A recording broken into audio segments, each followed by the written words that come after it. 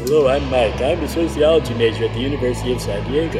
Hi, I'm Kwam, a mechanical engineering student at USD as well. We've been developing a product called Sonic Sense that works in tandem with a blind person's white cane or guide dog to better increase their mobility. A white cane is a great tool for blind people to detect things at ground level. Yet anything above knee level, they can't detect until they make contact with it. With the Sonic Sense, I can detect more things around me by the different tones that it makes to let me know what's above knee level so I can travel safely in different environments.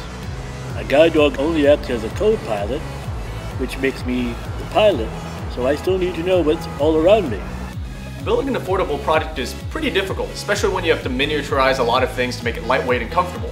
As an engineering student with a lot of background in rapid prototyping, I'm used to the lots of trial and error that's involved in making a perfect product. We use a combination of 3D printing and breadboarding in order to make working prototypes that we can distribute to beta testers who give us feedback on how we can improve our product. Speaking of which, we have beta testers. Our beta testers have been specifically chosen from the Winston-Salem Industries for the Blind, since most blind people either are unemployed or are at low income levels what better place to test this than at a place that actually hires blind people?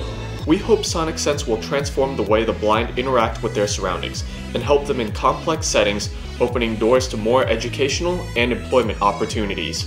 Our connections with local manufacturers enables us to ramp into full-scale production, and we're building relationships right now with agencies here in San Diego and in North Carolina to enable us to distribute to our potential customers. With your support, we hope to be able to produce a market-ready version that can possibly help millions of blind people around the world move safely and independently.